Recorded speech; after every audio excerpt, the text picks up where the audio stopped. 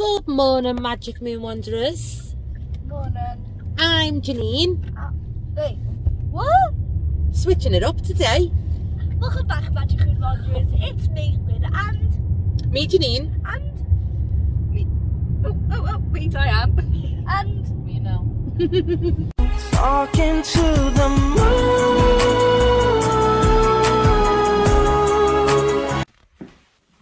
We booked two double rooms at Take Solace on booking.com and it is owned by a man called John Angus. You come up and the bathroom is here. Very quaint. I am a little bit in love with this soap dish. And then in here is our little cute room. And then look at that view. Just the sea. So this is the inside of the house that we're staying in. We've just come down at breakfast time. And John Angus has left us a lovely little note and a map with some places of interest. We're going to be heading up the north end of the island today, all the way up to the Isle of Butt.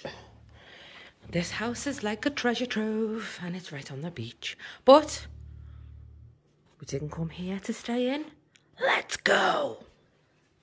We've started to see the contrast between Harris and Lewis today. Um, we saw it a little bit yesterday, but you can tell that Lewis is definitely flatter, um, just more kind of a vast landscape rather than Harris. Harris is more mountainous. This morning we're going to go up to the foot of Lewis um, and we're just going to explore the north of the island. We haven't got a massive itinerary. We're going to go and find some breakfast and yeah, we'll see what we find today. Who knows? I bet you it's going to be as magical as yesterday though. What are they?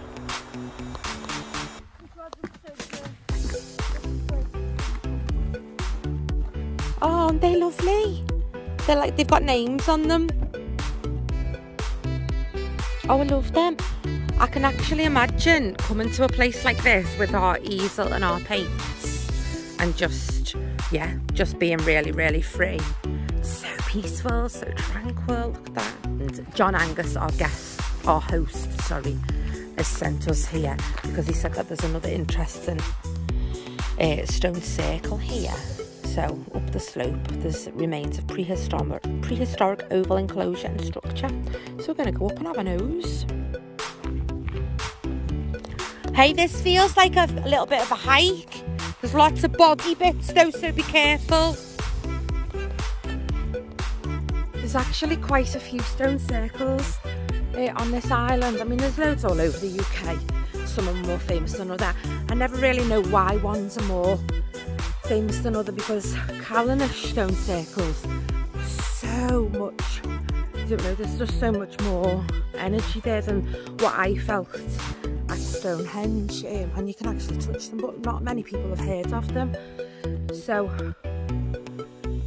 I think it's always good to go and explore other ones just to see what the energy is like for you see what you feel about them. Some people just see stones. That's okay. But if you're a bit like me and you feel energy from inanimate objects, yeah, come up here. Oh, where are they? Come on, lazy legs!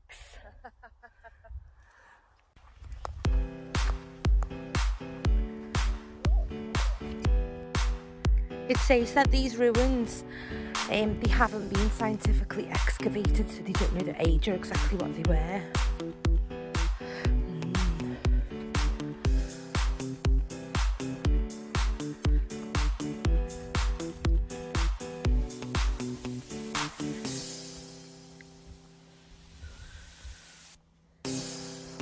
You can see where the tall stones have um, fallen over.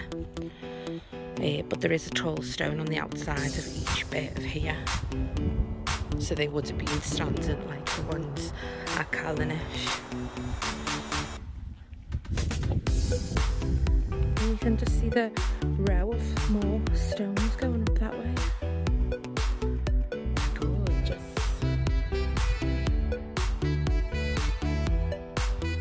haven't even had breakfast yet, and this is what we're doing. This is beautiful.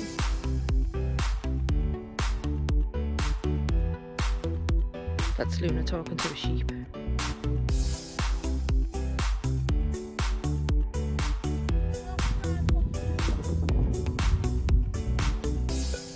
Yeah, it will be. No need for a hair dryer up here, is there?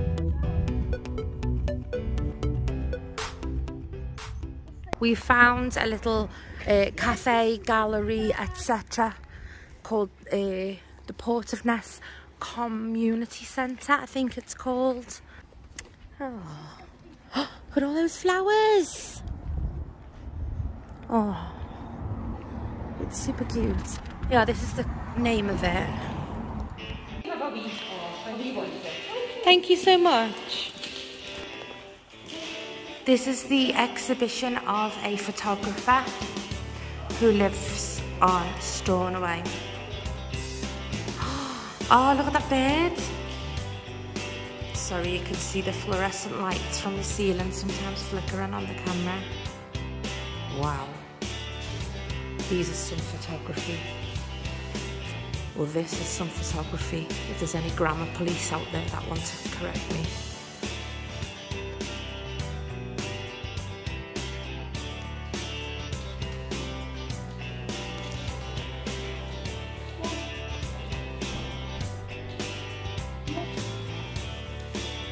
Place is really, really pretty. It's got some really interesting things.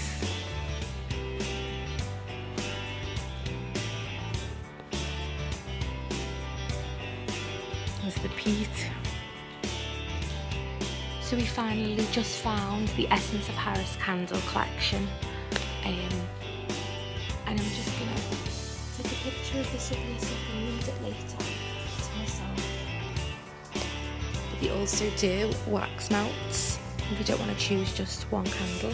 So I think I might get them. So, So it's 11.43 and we haven't had breakfast or lunch yet. And we've managed to do quite a lot of stuff without managing to find somewhere to eat. We've just seen a little brown sign to a tourist thing that said, um, what does it say? food trail. What did it say before that? It said I just seen Outer food. Hebrides. it said Outer Hebrides food trail. So we're going down this road looking for food. I know that banana does not count. We only took that out because John left it to us and we didn't want to be rude.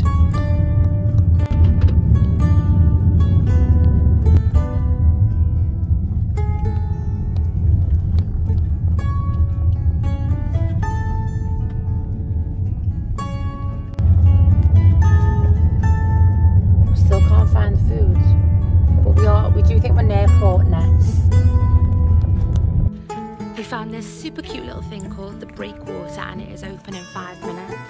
Look at the location. Location, location, location.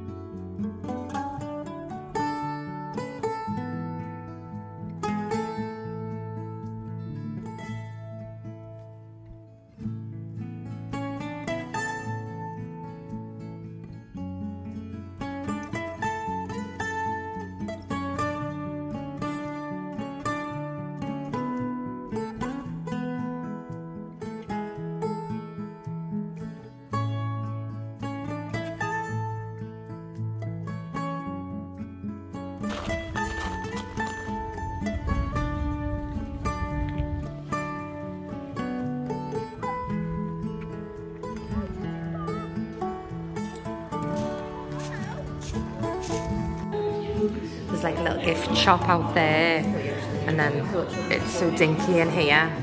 It's about to get really, really busy, and that's our view. Look at that window.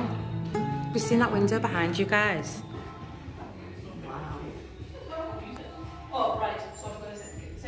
It's called the Breakwood, and it opens at 12. How cute is that course? Small nachos, homemade pizza. That looks amazing.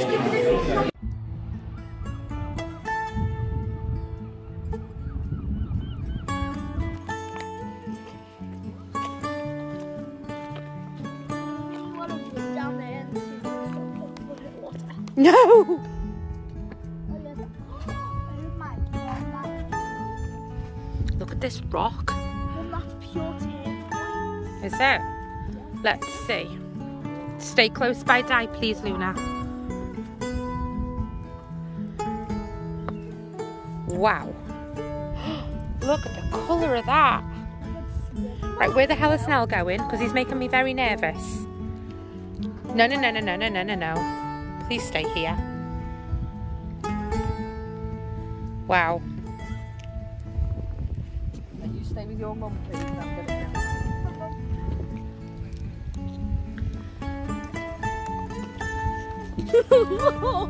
One, one slip of the foot and that's it. Me and mum have done like years of training and stuff like this. Okay, well we haven't, and I'm scared. Ah! No, you stay hold of my arm, or we go back to the car. Shit the bed yet. I am scared right now. No, no, no, no, no. You do not let go of me.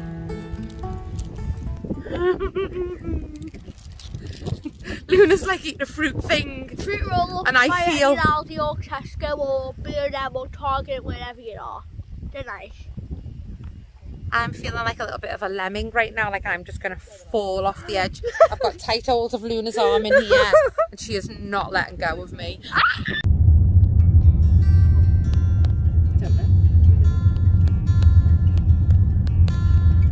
Is the very north of the island, then just towards the butt of Lewis. I'm going to go up and see the lighthouse, and maybe a little church along the way.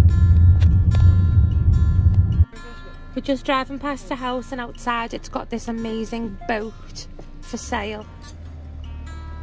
And it says that it's £300. That's the church.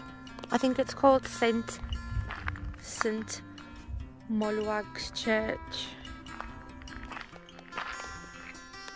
Just there. And this is the little path next to a house. Oh, thank you, love. You're such a gentleman. Isn't that gorgeous? Oh, look at this.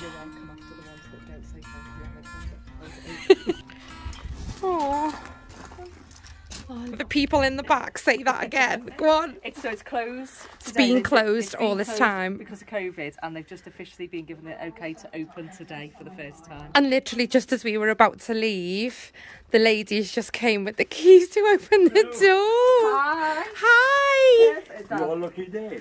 Oh, it really is. Now that is an intervention of the greatest kind. These things keep happening to us on this island. Beautiful gifts just keep appearing. Pretty.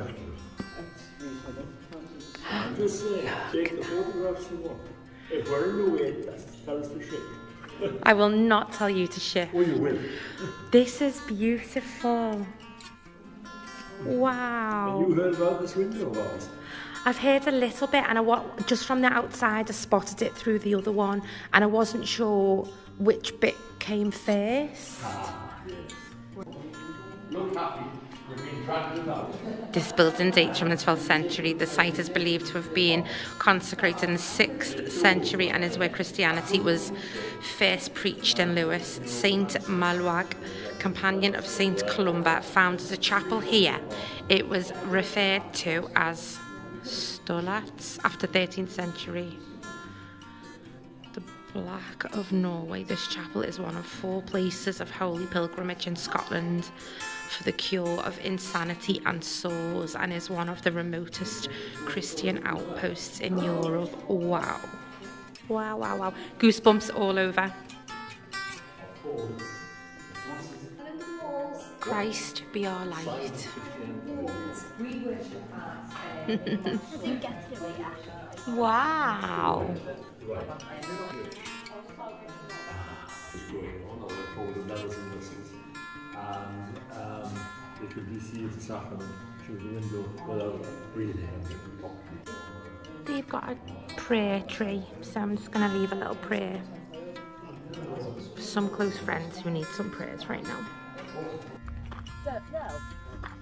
The sun is right behind you. However, we just had to pop on quickly because the lovely Dorothy and Alan, who were the volunteers, at the church just let us have a little tour and told us about things. And the church is now open for people to go and visit. And she was saying people even book weddings there from like America and it's usually such a very busy church she was also telling us about some of the difficulties that we've experienced during the pandemic and how the community really pulled together and it was just really heartwarming wasn't it it was just so lovely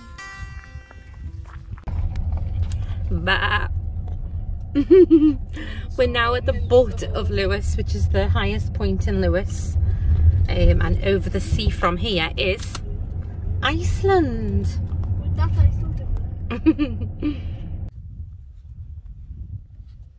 Where are we, Di?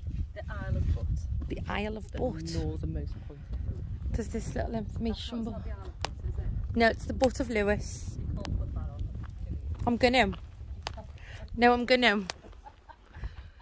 I have to put all the words that I get wrong on it, so I'm putting yours on too. We're at the foot of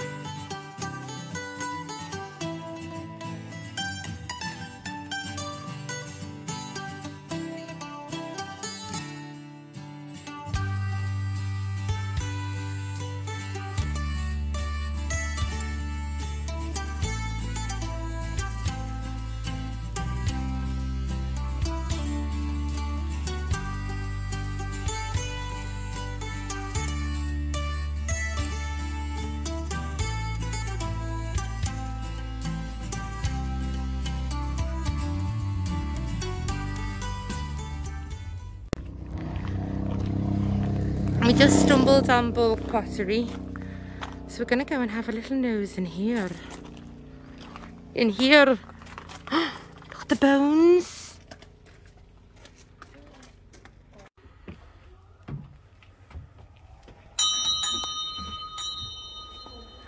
It's beautiful. I know it looks like we're driving into the ocean, but we're not just a little bit further down from where we're staying are the black houses. Uh, and the black houses are houses that they used to live in on the island. Yeah, these are the Arnol ones. the Arnol black houses. Peat is like something that you get from the ground. So they're, they're closed now. It's late.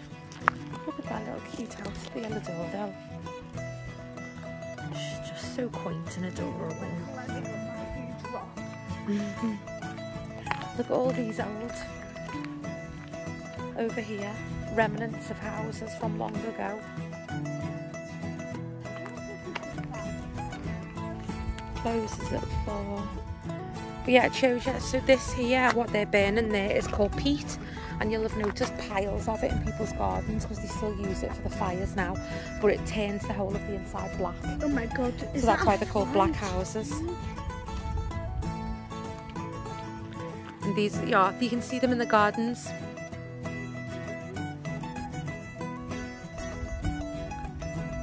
I know that's straw. Piles of straw. It's not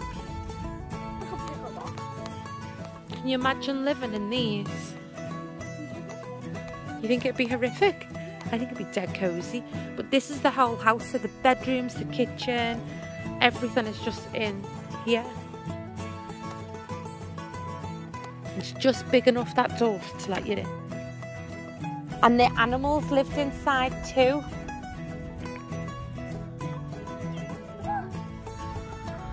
Other than the kids, you can hear how quiet it is.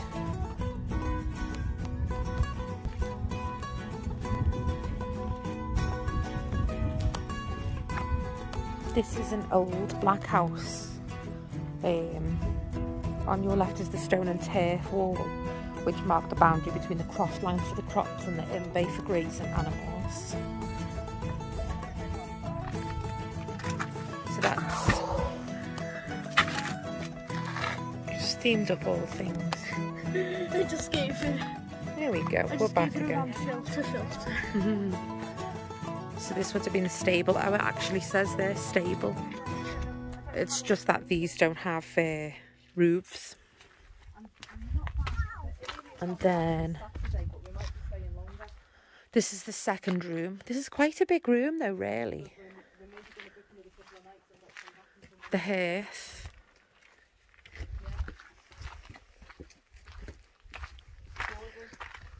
These get smaller and smaller. Oh, ow. Hello.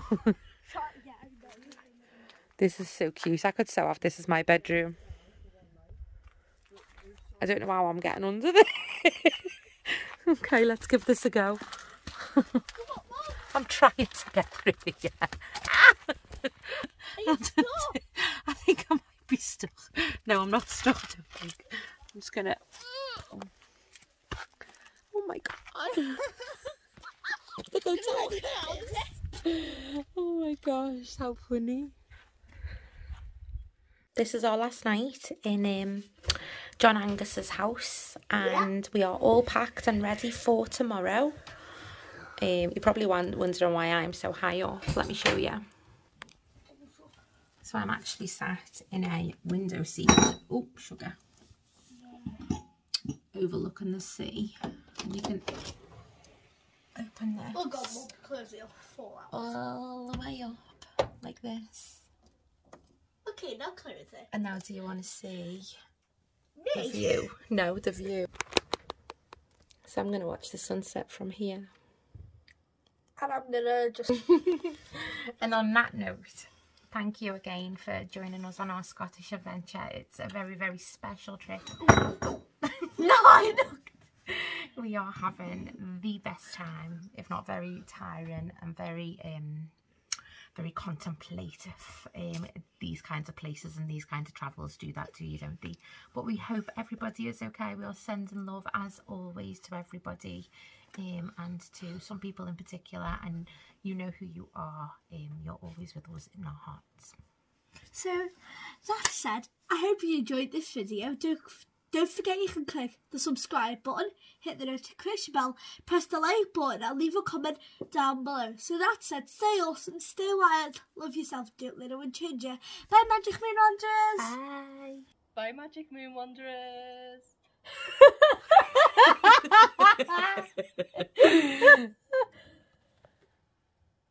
Talking to the